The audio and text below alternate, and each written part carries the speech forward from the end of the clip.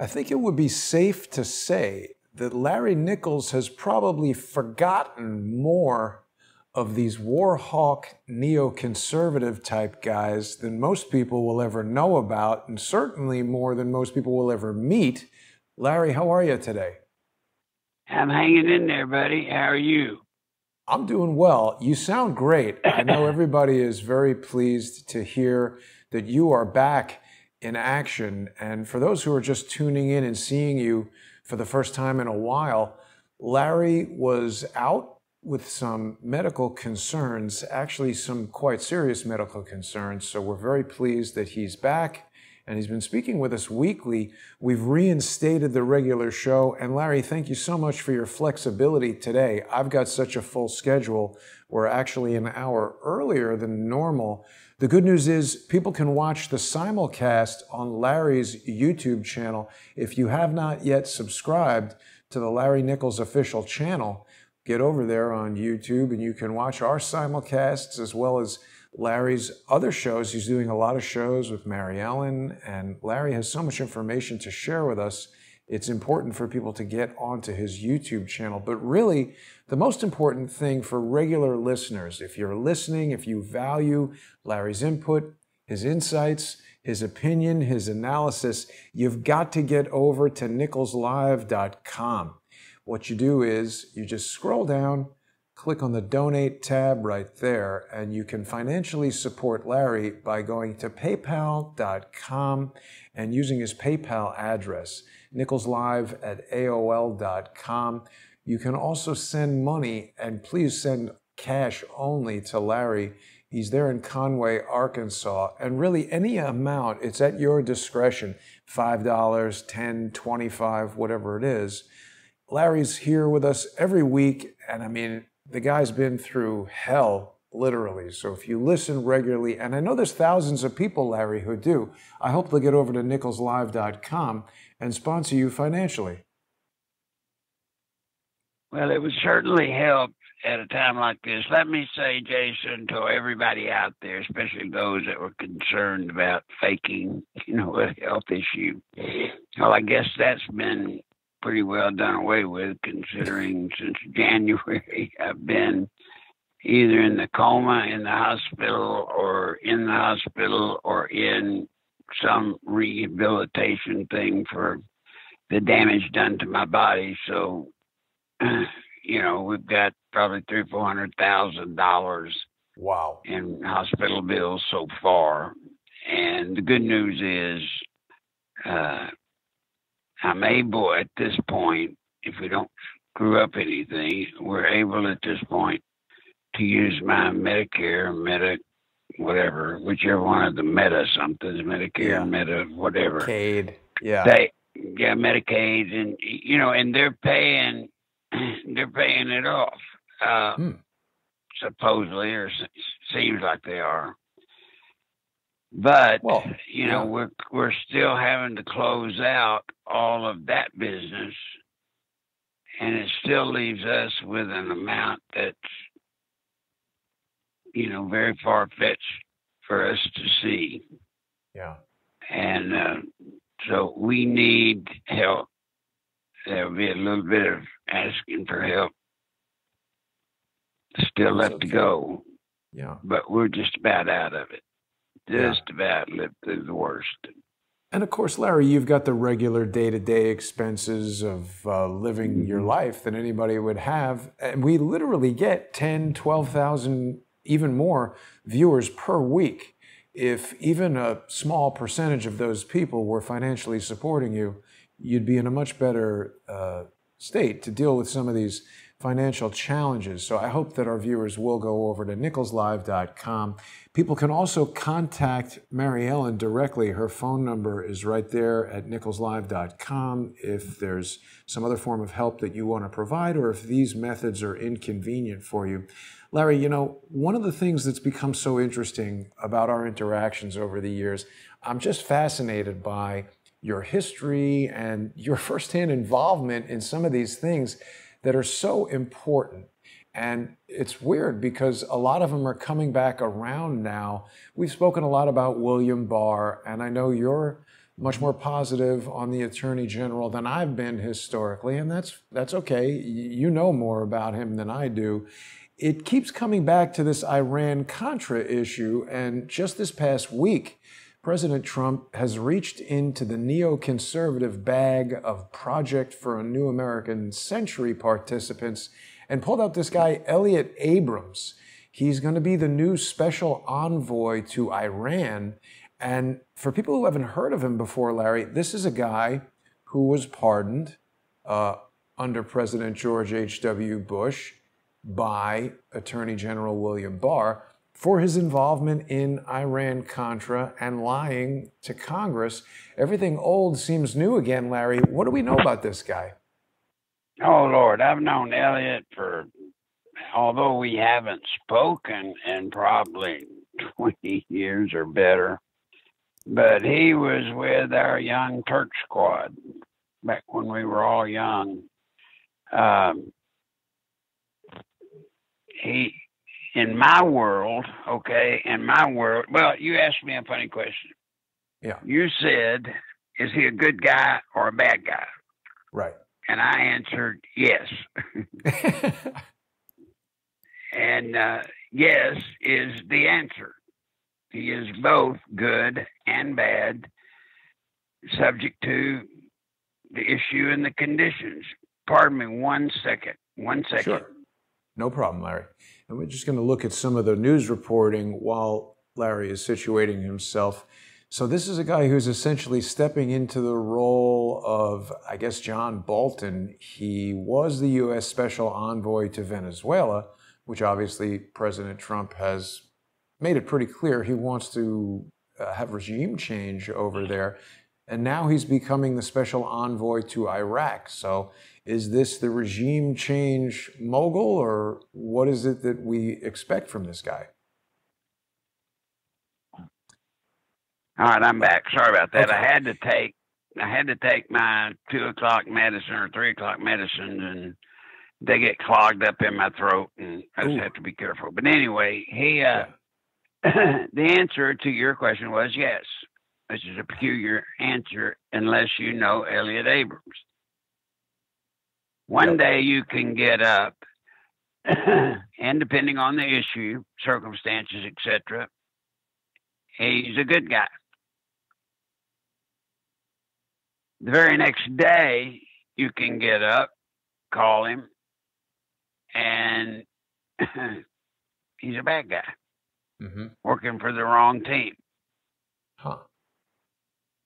Now, he is custom made for politics. He is bred for politics. He's perfect for the political arena. Now, Trump made a good decision in bringing him out of forced retirement. He did. Because if anybody can uh, get down to the nitty gritty with a country like Iraq, it's him. He can do it. Uh, Iran. Now, Iran, I'm sorry. And yeah. the problem, however, with Elliott is if you thought Bolton was an overly aggressive war dog, right? Take Bolton times 10, wow. and you'll have Abrams. Mm. Now, Elliott has, you know, he, he has done it all. he, he's been for the good, the bad, the ugly. He's been there. Yeah. And he's a good guy for us to have in place. He's the one person, Jason, that President Trump will not have to look over his shoulder at for uh, betrayal. Abrams uh-huh. will not betray him. He will not betray him. Isn't he kind of a dangerous guy, Larry? I mean, the whole nature of Iran Contra was basically supporting these South American revolutionaries who wanted to overthrow, you know, the the Contras were fighting the Sandinistas Now we've got an established government in Venezuela that's socialist. I mean, it seems very similar to what was going on in the 1980s, and now we've got the same crew involved. I mean, this guy, Elliott Abrams, he was convicted, and the only reason he didn't rot out in jail is that he was pardoned. And also, Attorney General William Barr played a role in that. It's interesting that the left is not making a bigger deal out of this. Oh, they will. They will make a big deal out of it. They just aren't right now. Okay. Remember, the far left, the left, as you would call it, they've got plenty right now that they're cooking. You know, they're in the process of cooking what they consider the big meal, and they don't want to confuse uh, the public today. Get off they, they message. Don't want to. I'm yeah. talking about today. Relative, relative. I say today. I mean relative, guys, to several days or whatever. It can't be more than two months because then the election's over. Right. But right now, they're putting their dollars and efforts into one person, Hmm. and that's Abrams. And they Right. don't want to get in. I'm sorry, they're pushing right now for Black Lives Matter. They don't want to get Abrams in to squash their Black Lives Matter. They want to save him until right before the election. Right. Now, what will get you about Abrams is when he finally was convinced he, she needed to do a book, she started working on it and she worked on it and she worked on it until finally she put it together as best one could put something like that together. Hello, are you there? I'm listening. You're, are you talking about Oh, realism okay. in democracy? Is that the book you mean, Larry? Well, no, he, he could have. He will not write a book downplaying President Trump, so he's safe there. Ah, oh, they need, yeah, they are pushing right now Black Lives Matter. right. But one day, right before the election, I'm not saying literally right before, but within probably 30 days of the election, you're going to see the sky light up like the biggest fireworks display in the history of the world. It's going to light up Elliott Abrams, and they're going to light up President Bush for introducing him to, you know, the Bringing him in the cabinet uh, for Trump. Bringing yeah, him in. yeah, Yeah, I mean, I'm surprised it hasn't happened yet. I know that viewers of Crowdsource the Truth are very skeptical of anyone, Larry, who is a member of this think tank, the Project for a New American Century. People who are students of 9 11 know that William Kristol and Robert Kagan founded this thing and it's this public policy think tank where you know people like John Bolton, Elliott Abrams, uh, Defense Secretary Donald Rumsfeld. These guys basically hatched this plan where they decided that America needed to project its power around the world, and you know in uh, the late 90s they felt that it was important that we prevented another economic or military superpower along the lines of the Soviet Union from rising up. These guys are staunchly anti communist. Robert Kagan is married to Victoria Nuland, who I think was the Assistant Secretary of State under Hillary Clinton. Interesting to note that this guy, Elliott Abrams, was also Assistant Secretary of State. These are positions, Larry, that most people, I think most people, barely pay any attention to, but they're some of the most powerful guys in government, aren't they? yes, they are. And this gets back to the issue of uh, people that are in incredibly high positions having to do with the running of the, you know, of America, but yet they weren't elected. Right. These are professionals that are in our government making huge decisions, but they are unelected officials. hmm I mean, it's just wrong. It's wrong minded from the very beginning. And, and, you know, Jason, this has got to be addressed. But even by us right now, if we want you to come out and say, you know, you're not talking bad against Trump, you're just not saying anything at all, which is kind of weird that you could be with him for that length of time and and not actually just not actually talk about the truth. Right. They're just not going to do it. Well, let me ask you this, Larry, because I think it's it's amazing to me how little even really very educated people who are kind of dialed in, it's amazing how little people seem to recall about Iran Contra. You and I have discussed it fairly extensively. We know that it was a plan to basically fund the rebels who were fighting the communist Sandinista government. And this was done through a clandestine operation because uh, Congress decided they didn't want to do it. So it was totally illegal. There were a long series of congressional hearings where Oliver North was one of the primary focal points of it, but a much younger Elliott Abrams. I mean, it's funny. I look at these guys now. I remember being a young boy and watching this on TV and thinking these guys were all old men, but they look younger to me now, looking at them in 1981. They're younger than I am now. And then when we think about guys like the whistleblower who initiated the impeachment, he's kind of the age that these guys are.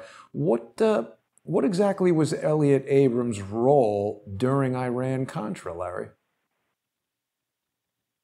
Well, give me the short version of that. what did he do? What, what was Elliott Abrams doing during Iran Contra? What was his role? Well, Elliott was a go between between the officials at Iran and the president. He was the go between. Uh-huh. It was his job to try to negotiate any kind of deal that that could be struck between Ayatollah of Iran and President Trump. Uh, Reagan. And as a matter of fact, Reagan. And as a matter of fact, it was thanks to his success, uh, a very successful operation until it got to the Ayatollah. Uh-huh. When the when the Ayatollah found out what this guy had done, I'm not talking about Abrams, but I'm talking about the inside guy for Iran. When they found out what this guy and Abrams had put together and therefore had been approved by Reagan, they literally killed the guy he was working with. Uh, Elliott Abrams was working with. They killed him. Whoa. So, yeah, I mean, it's a. That's one of the problems, to be quite honest, of trying to deal with Iran. You know, it's hard to get people to work for the Shah of Iran. I mean, it's just very hard.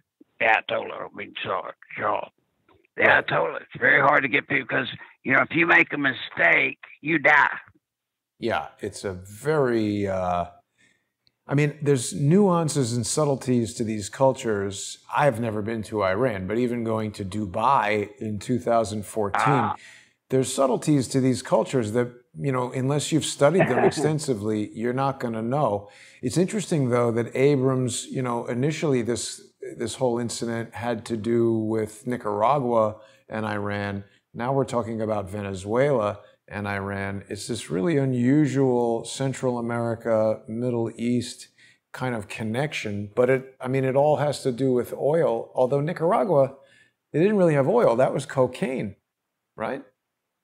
Well, no, no. Now, you know, here again, forever I will have to say it and people won't believe me.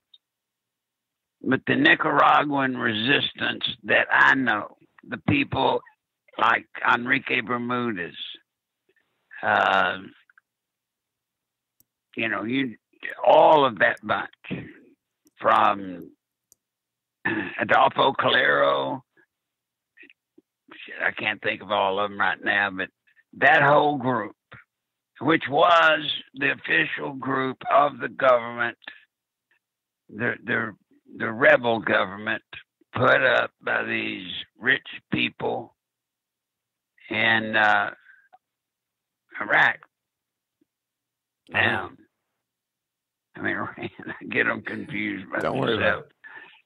Uh, but anyway, so Jason, let me back up and Sure. just establish something that, that I think will help your audience to, to understand. And I don't mean folks to be stuttering and acting sort of weird. Remember, I'm still under some secret consequences that I can't break or secret. Anyway, I, You're I, s- sworn to secrecy. right. And so I have to be careful. So I'm not stuttering and stammering, stammering because I want to. It's just everything I say, I must be damn careful Right. that I don't cut my head off. Now, I won't literally have my head cut off, but I can spend a nice rest of my life in prison, and I just soon not do that. Uh, No, we don't want that. so here we go. Why is there an Iran that any deal they were making they had to use supposedly Nicaragua? And then you turn around today and now there's an Iran. And if they, if you go through them, you've got to be very co- careful. But once she sticks their face in it, the uh what, how can I say this without getting me in trouble? Anyway, once you once you break the code, you're in trouble. You got it. Once you break the code, you are in trouble. But with these countries, the safest way to uh, make a deal is by using a surrogate, Uh huh. a surrogate country. Oh, Now that is kind of normal, Jason. It's been done this way going back to, as far as I know, back beyond the Civil War, but certainly it was used in the Civil War. mhm. You know, we used France. France was our surrogate, and we hoped that Spain would pick up its war against Britain. So Okay. Britain would have to commit its soldiers in the in the Spanish fight and not bring them here to down us. Uh-huh. Well, that pattern with the Iranian government and the Ayatollah of Iraq, that that system, that layered system, that secret system was done every day. Hmm. Somewhere, somehow, it was done. And so it put North in a very bad situation starting right out from the get go. Hmm. He's uh you know, he's younger than most of these guys. He pulls out a question about uh North and what he was doing. It's um it's just the way they do business, Jason. Yeah. And I want to tell you more, but I just cannot surrogates have been have been used effectively in getting stuff for us from other countries or getting other countries to stand up and fight for something we need. Yeah. But they're not going to fight under our name. It's going to be under their name. Yeah. But we're making deals on the inside with the leadership. So anything they do, we're protected. And then whatever they do, uh, it's plausible deniability, basically, is what you're explaining. This Mhm. complicated way of kind of roundabout negotiations. Now, uh, well, you would- see how com- how complicated it is because I can't even tell you about it, Jason. I mean, I can't. I'm not free like I am with most things you ask me to just blow and go. I you. have to be careful. Yeah. And I mean, that in and of itself, Larry, it tells us how much of this is still being kept secret. And so, certainly, somebody like Elliott Abrams is going to be very familiar with the protocols uh, pertaining to the types of stuff that you're talking about. I mean, the things that come to mind for me is when I see him hanging out with Mike Pompeo. Sure, Pompeo is Secretary of State, but he was also the director of the CIA not that long ago. Right. And I mean, isn't the State Department and the CIA uh, it's kind of the same thing, isn't it?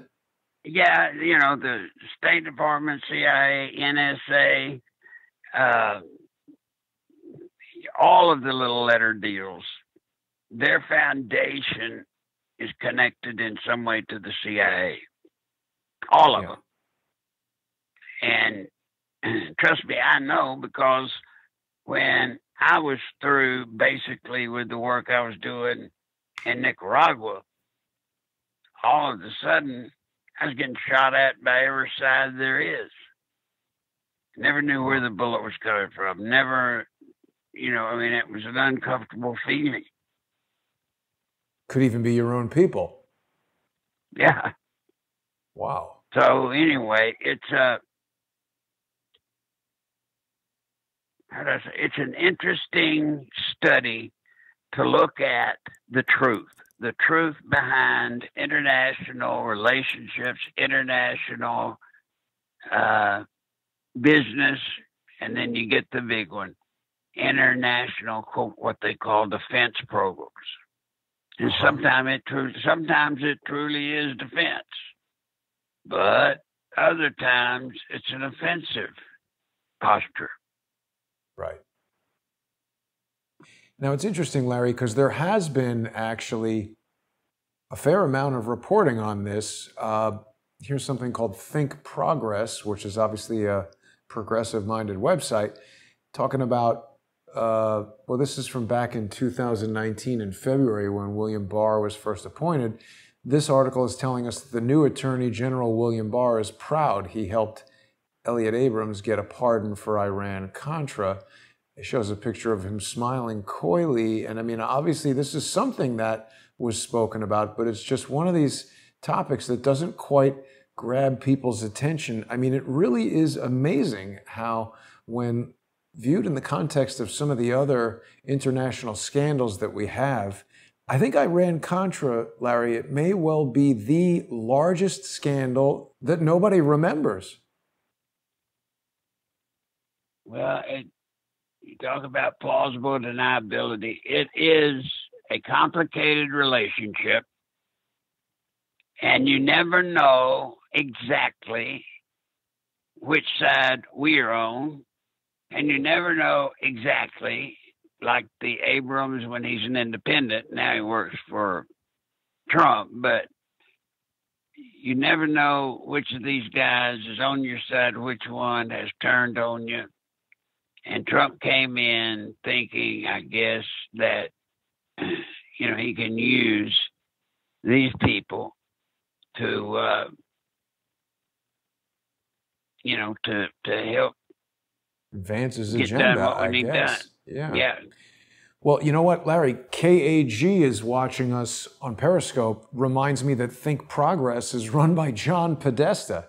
So that's interesting because obviously he's an opposition research guy who's trying to publish the most unfavorable articles about Donald Trump and his associates that he can possibly come up with. So that actually, I'm glad KAG reminded me of that because that's an interesting angle. It means that Trump is aligning himself with those who are against the Democrats, and I guess he's doing it at the expense of whatever baggage these guys might have. And uh, obviously, there's something about Elliott Abrams that the left doesn't like, or they wouldn't be publishing these articles about him in a John Podesta website. Well, they would. I would say this to the left, and I am not one to give them any counsel or advice, but they'd be damn wise to keep their mouth shut and not get into this, because they get in the middle of this, a lot's going to come out. And remember, Joe Biden has been in and around government in Washington, what, 30, 40 years. Right. Look what Joe Biden did in, you know, with his son.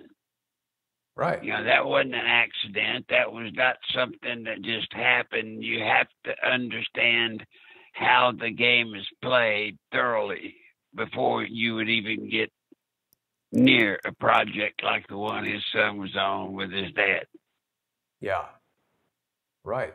Now, Larry, okay. thinking back to when they had those congressional hearings, um, what was Joe Biden's role here? I'm actually just looking at some old AP articles here. It says Robertson slams Iran Contra hearings, comma Biden on the verge of entering the 1988 Republican presidential race. The Reverend Pat Robertson condemned Congress's investigation of the Iran Contra affair as an unconstitutional trial and public humiliation of Oliver North and others. I mean, that's not quite true. It was a reasonable thing to be inquiring about, wasn't it? Yes, very much so. I mean, literally, there was literally there was millions and millions and millions of dollars that were missing. Right. There were uh, thousands of weapons missing. Right. So, yes, it was worthy of an investigation. Was it worthy of a national public display? No. Not, not, that it though? wasn't worth it. Well, not that it wasn't worth it, but you didn't want to open that can of worms because when you open that can of worms, here we go. Now you got north. Now, you know, from north goes such and such, from such and such goes to whatever. I mean, it's just one thing after another, Jason, and you never want to open that causeway. Never, never, never. So, if I understand what you're telling us, Larry, this was such a sensitive and outrageous scandal that the notion of a congressional hearing that would air it out in public is so dangerous. it's almost like getting the guys who actually perpetrated the JFK assassination, putting them on trial and asking them all the hard questions. It's actually, it goes beyond being like that. A lot of the people probably were involved with the JFK assassination, including H.W. Bush, but that's a separate story.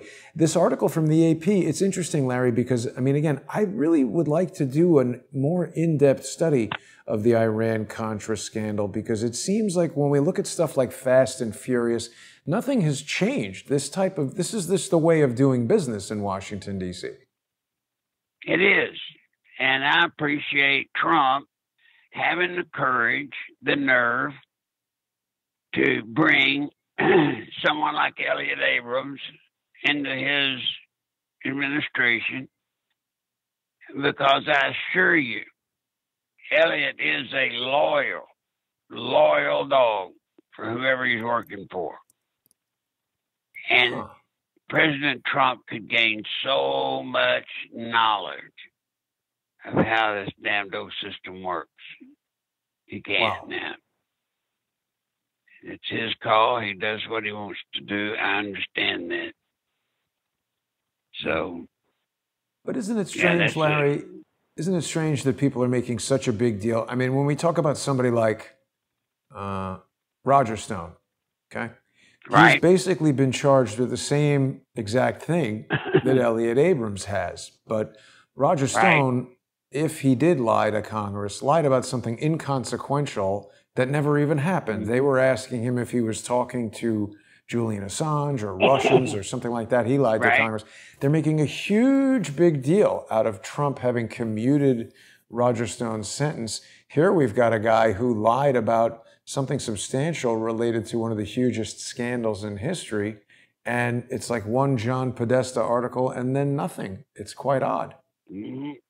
Yeah, it is. You'll notice, you'll notice in all of those investigations going back as far as I can remember, they'll go so far with the investigation and then it is like, uh, I don't know what you call it, it just stops. It stops. And when it stops, it's over. Mm-hmm. Right? By over, I mean the powers that be when you start opening certain envelopes that have magical uh, importance, just shut it down. Just like right. with Ollie North, where you say, well, they didn't shut him down. I mean, hell, they, no, they shut it down. That investigation, if it were allowed to go further, just like you said, uh, I believe, me personally, I can't prove it, so it's not worth hearing. But at this point, my mind is convinced that uh, there's a better than average chance that this elaborate scheme will not work in the first place. Hmm. But they'll shut it down, buddy. Okay. Do you see any parallels, Larry, between what's going on today and what was going on back during Iran Contra? What I see, which is what I fight, the same thing. It's the same. The same thing. And and Trump now has a person in his group that has number one worked for that group that want to take over our country. So he has worked with whatever country uh, needs their people, needs, whatever country that needs help. This is a way to get it. But their right. people involved in all these investigations. And folks, please, please. Some of you are bound oh, to say, God, he sounds drunk because he can't hardly complete a sentence. I know what I'm trying to do, but I can't just. This is one of the things, guys, and you, Jason, this is one thing that I just am not at liberty to give you much about because it'll get you hurt. It's still basically classified stuff. I mean, the thing that's so mm-hmm. strange to me, Larry, is that when we think about, uh, you know, our friend here, Elliott Abrams, he's been involved in the project for a new American century. That is, mm-hmm. you know, front and center. You got Kagan. Kagan married to Nuland. Nuland is right smack in the middle of this Russiagate thing. I just, I'm constantly being you know, either questioning myself or people in the audience are saying, does Trump know all these things? I mean, is he deliberately putting these people into his cabinet so that he can have them center stage? I mean, I didn't think it was a good idea to put John Bolton in there, and it doesn't seem like it was some sort of genius chess move, or maybe it was. Bolton's out of the picture, his book kind of fizzled, didn't do anything. I don't know. You like Elliott Abrams. What do you expect? Yes. What would be your hope that he could achieve in this new role as Iran special envoy? Well, let me tell you why Trump put him in. I have not talked okay. to Trump about him, but I can tell you fairly well what he's doing there. Yeah. if you'll notice, since Bolton was put, since the day he was put in the penalty box, not just since the day he was canned or quit, but I'm talking about the day it all started, this release of this supposed statement he made, whatever. The book, yeah. Let me tell yeah, the book. Well, Bolton, Bolton just cut himself out, but he has enough integrity left that he did not destroy our country and our intelligence system, or at least I don't know that he didn't because I haven't read his book. but uh, in there because since Bolton has left, we have got to have someone dealing on behalf of all of us that is capable of being open and destructive to Iran. You're not, like you're not going to get them. You're not going to get them to join us. I'm not about Iran. You're not going to get anybody in the government of Iran joining us and saying, "Oh, we love you." You know, you're not going to get that. And so he's searching tickles. for these guys that kind of put fear into Iran. Is that the idea? He needs hard-nosed guys to deal with them. Mm-hmm. Yeah, and he needs the uh, force protection. Mm-hmm. You know, he's got to just clear out, and he will. And that's Bolton, of course. Yeah. And Elliott's, you know, Elliott's got a job to do, and it's a twofold job that most people would not understand. He has to teach Elliott how he runs his ship, and that's what he's doing. Yeah. Well, it's going to be interesting to see what happens in this new role. I mean, he's just come over from dealing with Venezuela and now dealing with Iran. So, I mean, I guess, you know, when you want to deal with these tough customers, you need a commensurately tough customer on your side. I just don't know. I mean, all these guys that have been part. All right, let me their... let me just yeah, yeah, let me get to the punchline on Abrams sure. and Venezuela, etc.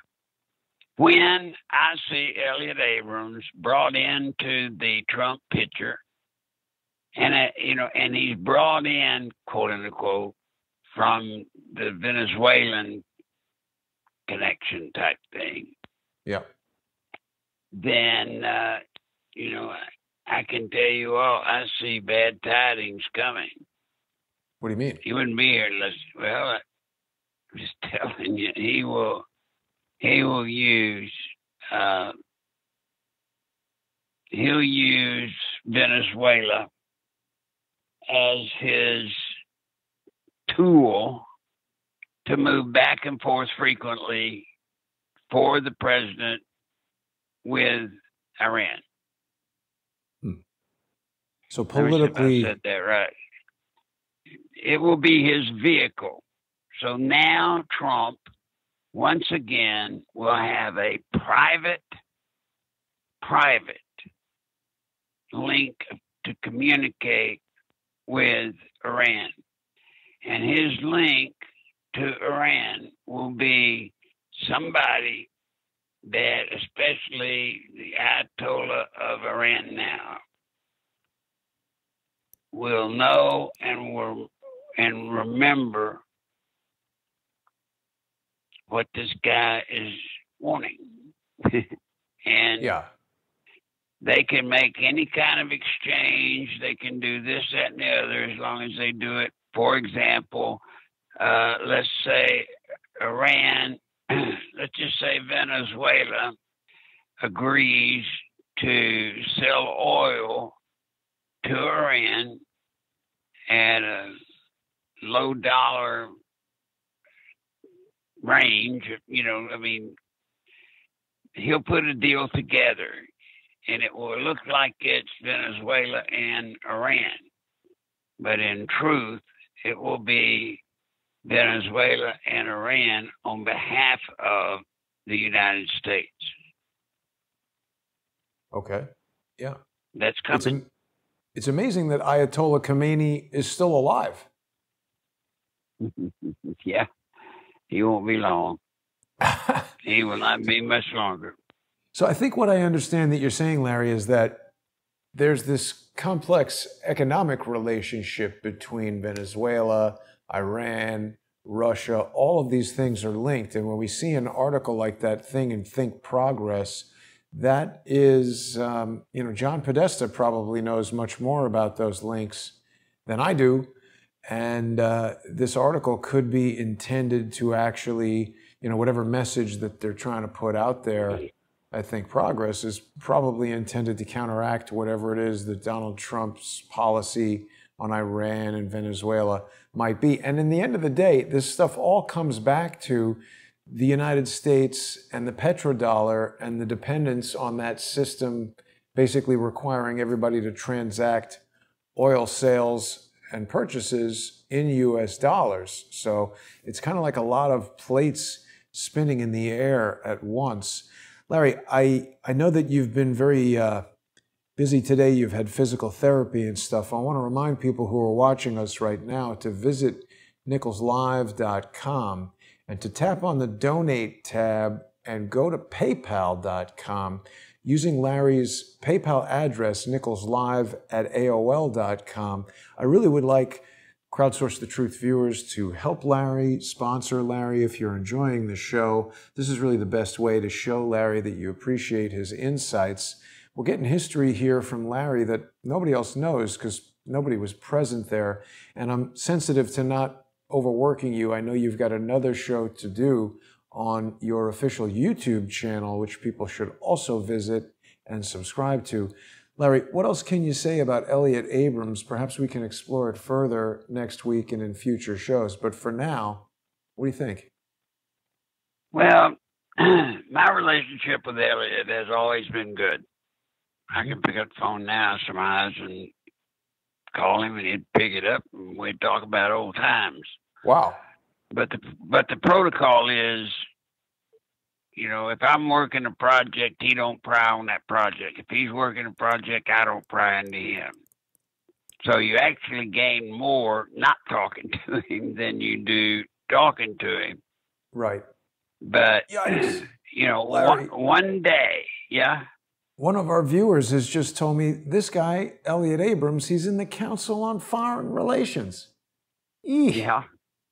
Ah, No. La- that sounds swamp monstery to me, Larry. I don't know. Well, I know. Look, I know, but we're going to have to, Jason. This is what Yikes. Trump is finally understanding. We've got to get if you're going to if you're going to clean out the swamp, you got to get in the swamp and start fighting. Okay. You cannot sit back and surgically remove the trash from inside the swamp, especially if you've never been in that swamp. Yeah, you got to wrestle some alligators. All right, Abrams is going into the swamp. sw- Swamp. He knows how to get in the swamp, and he knows what to do when he's in the swamp. And I'm telling you what you're going to hear, just as sure as I'm sitting here, very soon. You're going to hear about this exclusive, incredible shipment of oil hmm to Iran. You're gonna, you're gonna, and it's in the behalf of, you know, the Abrams and and what he's doing, and it's all because as long as he's in there, Trump has a connection to Iran, and he has a connection, as you just found out, to the. Uh, Venezuela, CFR, everybody. the He's very connected. Yeah, Yeah. He's very connected. And the good news is if you want somebody working for us that will kick the hell and squash a worthless country like Venezuela, he's the man. Yikes. He is the man. And, you know, and it's coming and it's coming and it's coming.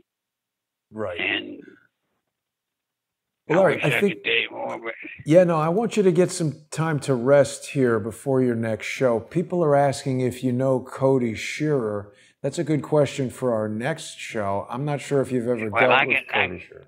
no, I have not. So we answer that one today without any loss of anything. Great. I would like to say to the audience, folks, thank you all. Uh, your help financially, but more importantly, your prayers. Pull me through what I was telling y'all all along was going to happen if we missed the deadlines on the stuff we were trying to do or had to do. Well, we missed, and it did. It collapsed on me. My body collapsed. And everything inside it quit. So it was the power of prayer. And I'm not trying to get religion or anything, but it was the power of prayer that made it possible for me to even be here talking to you today.